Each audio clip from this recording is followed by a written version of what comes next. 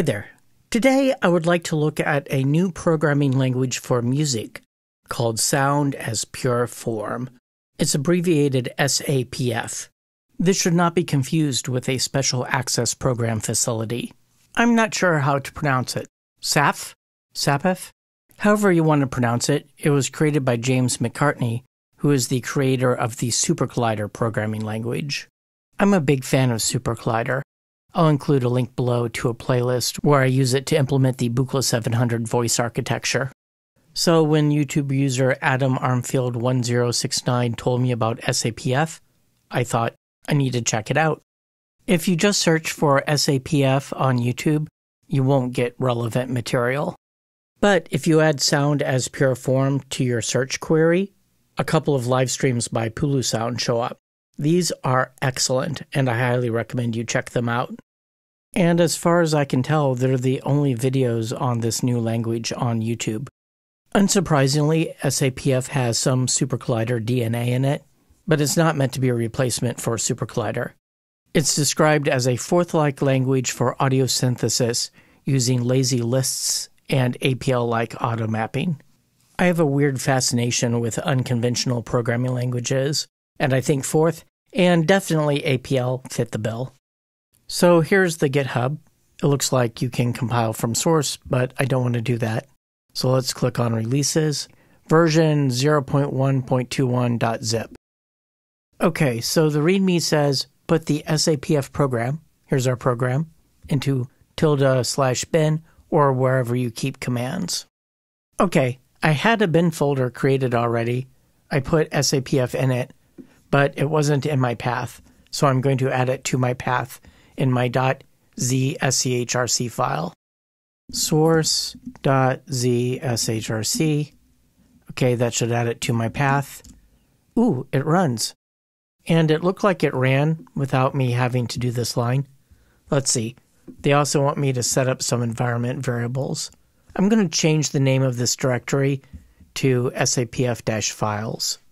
Okay, I added those export lines to my .zshrc file.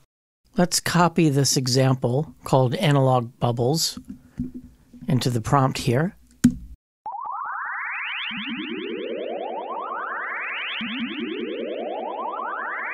Oh, that's exciting. How do I stop it? Oh, I type stop. what does this one do?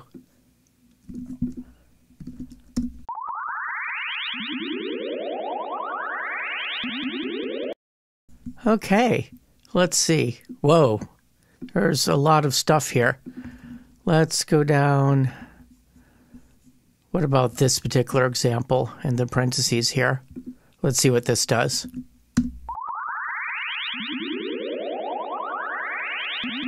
Okay, that's apparently another way of coding the same kind of thing. Let's scroll down a little bit more. Ah, let's see, a longer way to write the same form but as parameterizable. Ooh, sample and hold liquidities. This one looks like it does something with the mouse.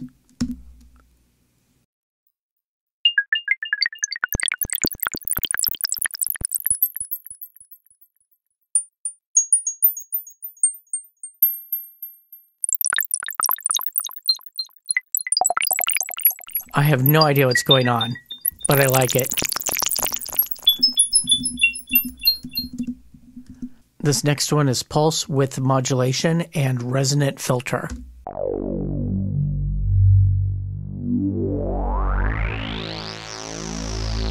Oh, yeah.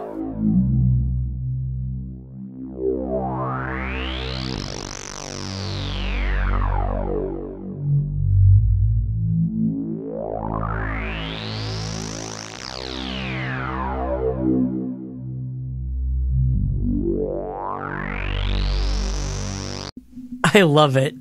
What is Deep Trip?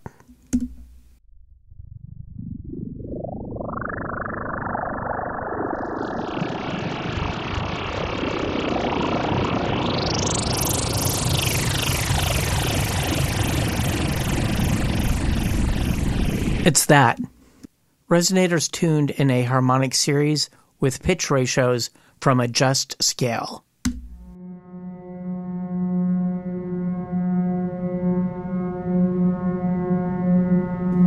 Okay. Mm-hmm. Okay, I have to know what an Asta noodle sounds like.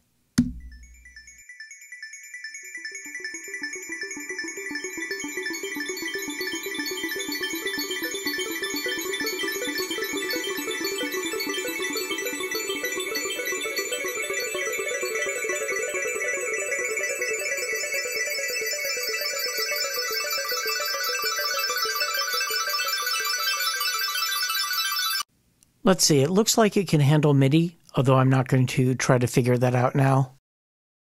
These are new age formants.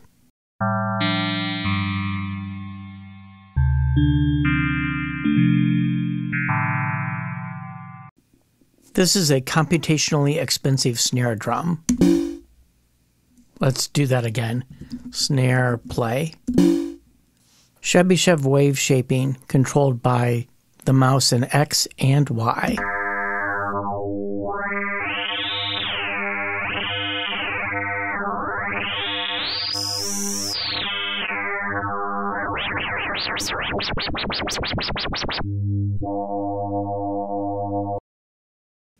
This one has the quote If one can't tell the difference between a dead end and a good lead in music, then one doesn't have what it takes to be a composer of any worth some guy I disagree with on Facebook.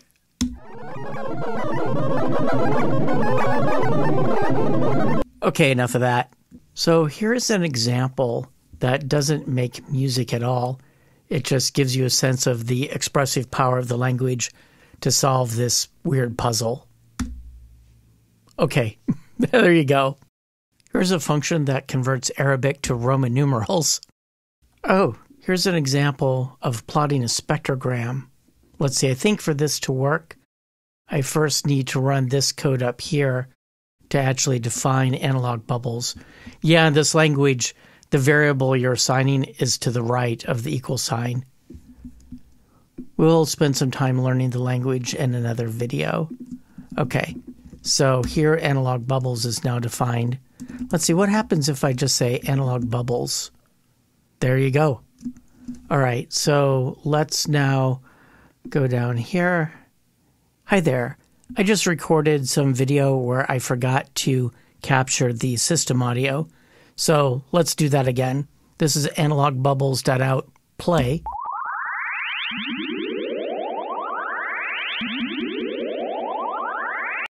And when we defined audio bubbles, we defined some default parameters, and you can override those parameters